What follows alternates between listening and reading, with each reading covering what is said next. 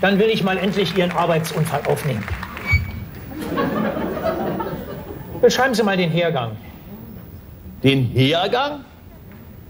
Naja, ich muss doch den Hergang kennen.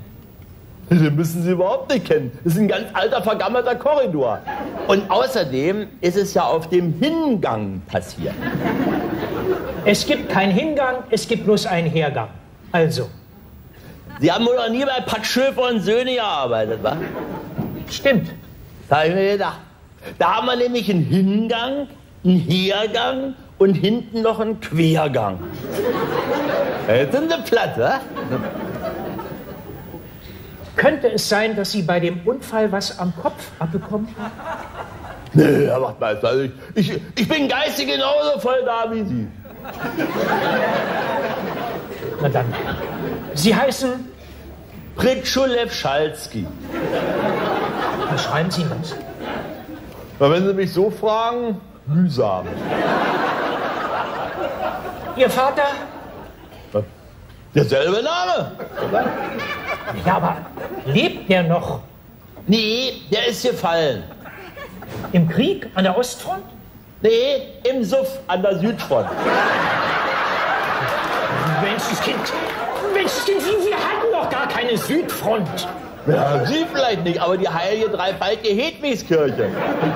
Und da war er Maurer.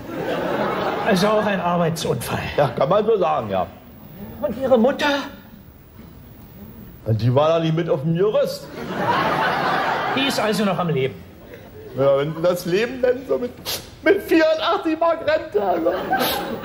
Und wie sind Ihre Verhältnisse? Meine? Ja, Äh, meistens mollig mit ein bisschen Holz vor der Hütte. Und Sie auch alles wissen wollen? also nur mal zu Ihrem Unfall. Der Hergang.